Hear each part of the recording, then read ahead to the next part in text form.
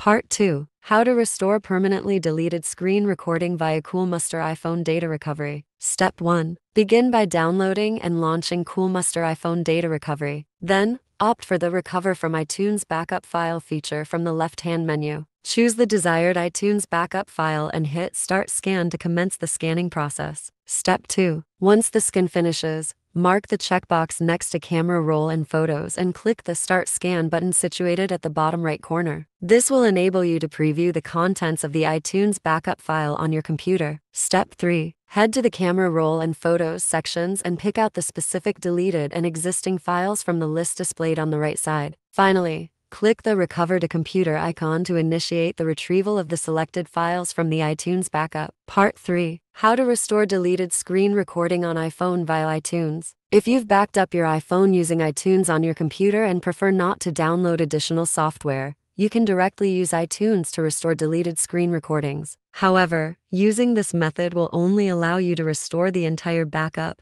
potentially overwriting existing data. Step 1. Ensure that your computer has the latest version of iTunes installed. Step 2. Connect your iPhone to the computer using a USB cable. Step 3. Open iTunes and select the device icon to access your iPhone page. Step 4. In the Summary tab, select Restore Backup. Step 5. Pick a backup file containing the deleted screen recordings. Step 6. Press Restore and await the completion of the process. Part 1 How to recover deleted screen recording on iPhone from recently deleted album. The Photos app's recently deleted album keeps deleted photographs and videos for 30 days. Step 1 Launch Photos on your iPhone. Step 2 Click Albums on the bottom bar. Step 3 Select the recently deleted album at the bottom. Step 4. Find the screen recording to recover in this album. Step 5. Choose the recording and press Recover at the bottom. Step 6. Confirm recovery to restore original recording to main album. Part 4. How to recover deleted screen recording on iPhone from iCloud Backup. If you have enabled iCloud Backup, even deleted screen recordings have a chance to be restored from the cloud. However,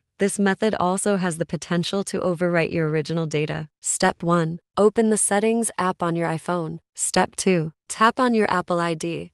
Then select iCloud. Step 3. Go to iCloud Backup and ensure you have a recent backup that includes the deleted recordings. Step 4. Return to the main settings page. Select General Reset Erase all content and settings. Step 5. After the device reset, choose Restore from iCloud Backup. Step 6. Log into your Apple ID and select an appropriate backup for restoration.